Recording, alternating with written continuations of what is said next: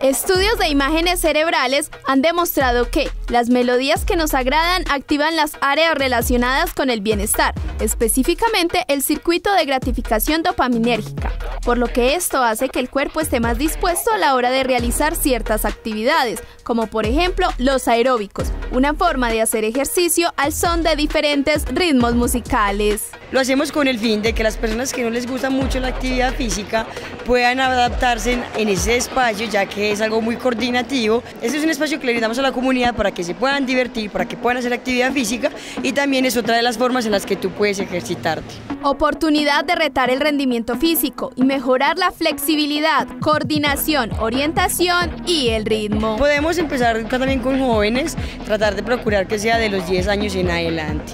También podemos trabajar con los adultos mayores y ya aquí se les da ciertas restricciones si tienen de pronto problemas en las articulaciones.